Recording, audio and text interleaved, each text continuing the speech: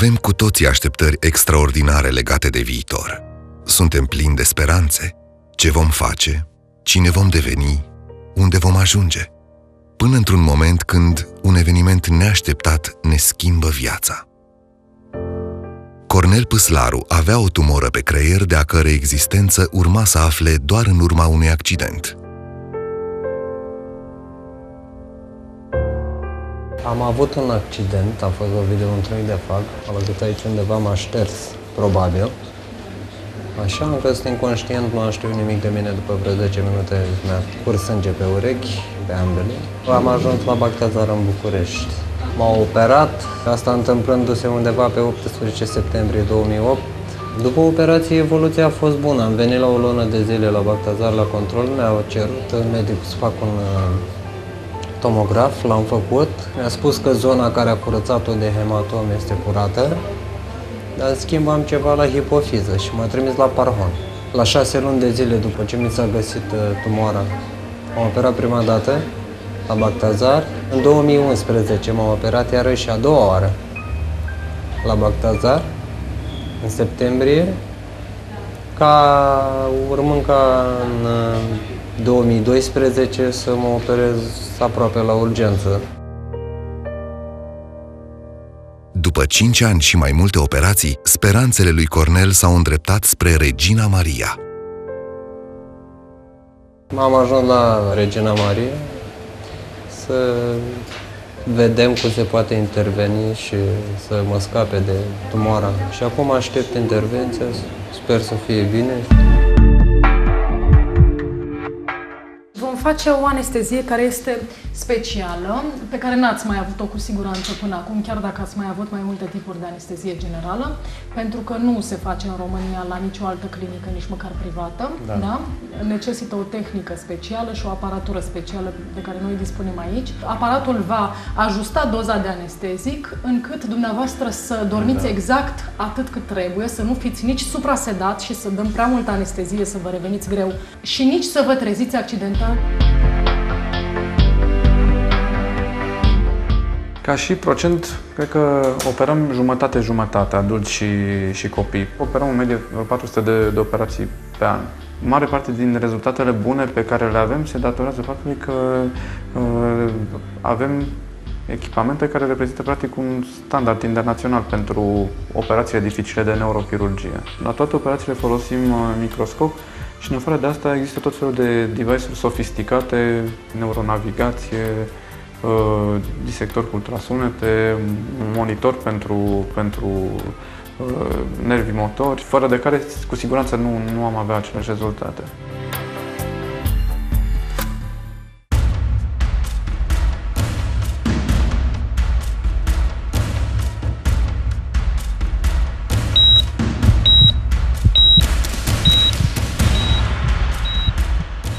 Deci ai nasul, deci este ceafa.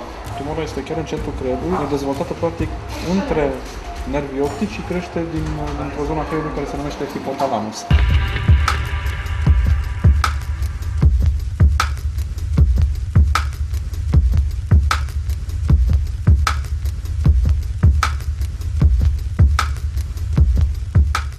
Cu Anca Vișan operăm de, de mai mult de, de 5 ani și uh, pot să spun că am trecut împreună prin momente foarte dificile. Am avut foarte multe uh, succese împreună și toate lucrurile astea cumva consolidează, consolidează o echipă.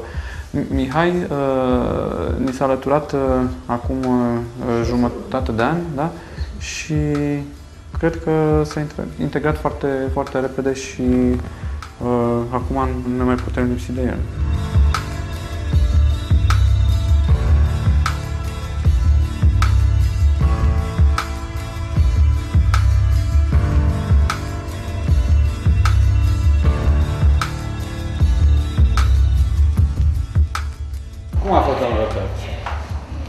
Că bine, am Da? zis bine, da. Am avut o consistență care a fost favorabilă și practic am ajuns la, la limita câmpului microscopic în- într-un timp mai scurt decât estimam. Cornel, s-a terminat operația de craniofaringiom. Cornel, te rog să respiri adânc. Ești bine? Te supără ceva? Nu. Foarte bine. Știi unde ești, da? La spitalul?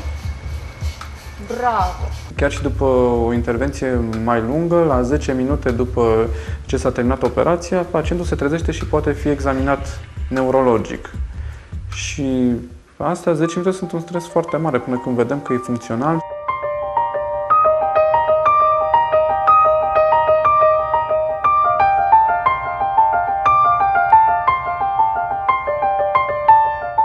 Luăm o analiză specială care ne arată homeostazia sângelui. Ne arată sodiul, echilibrul hidroelectrolitic și acidobazic. Specifică pentru tulburarea lui uh, hormonală consecutivă intervenției chirurgicale. O analiză complexă, fără de care nu poți să faci neuroanestezie. Toată operația a fost destul de dificilă pentru că e o tumoră care se dezvoltă din hipotalamus, care practic e centrul creierului care controlează toate, aproape toate funcțiile vitale. În plus, tumora este operată într-un stadiu foarte tardiv, când uh, uh, nervii optici sunt foarte comprimați și vederea e destul de mult afectată. Și atunci sunt riscuri foarte mari să o afectăm și mai mult. Știm că avem uh, uh, aproape 90% din tumoră rezecată, ne-a mai rămas o, o porțiune uh, care e migrată în spatele nasului, în sinusurile din spatele nasului și, și aceasta va trebui operată la un moment ulterior, endoscopic printr-o nară. Urci cu noi, ai, uh, ești obosit, urci să ne uităm împreună la remene? Un etaj, mergem cu liftul, da?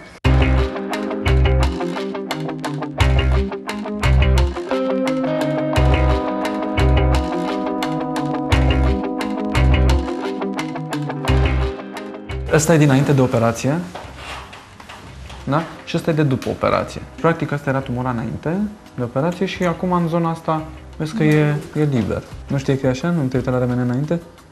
Vezi cât de mare era? Eu ți l-am mai arătat odată. bun. Imensă. În zona asta, aici e nasul. În interiorul nasului mai, mai am o porțiune de tumoră, la, la care nu aveam cum să ajung pe aici. O să ajungem la un moment dat pe, prin, prin nas. Însă, ce ne interesează în momentul ăsta este că nervii optici, chiasma optică, tractul optice sunt decomprimate. Nu mai, nu, mai, uh, nu mai este tumoră în jurul lor, sunt libere. Ok? Deci, practic, vederea e salvată. Asta ne, asta ne, ne interesează. Cu Cornel am vorbit chiar în dimineața asta. L-am sunat, îl sun periodic să văd ce mai face, având în vedere faptul că postoperator au fost o serie de complicații, să spunem așa, legate de partea endocrinologică și care s-au rezolvat cu bine. La acest moment Cornel este foarte bine, se simte bine și a reluat activitățile complet, nu are nicio deficiență, nicio disfuncție, din potrivă este foarte fericit că vede mult mai bine și că a putut fi operat și uh, practic uh, și-a reluat viața normal. Cred că neurochirurgia modernă începe să-și facă apariția și în România. Spitalul acesta este unul dintre, dintre locurile unde se face neurochirurgie, ca și în uh, clinicile bune de neurochirurgie din, din America de Nord și cred că în afară de mine mai sunt și alți neurochirurgi tineri care, care vor continua uh, tradiția asta. Din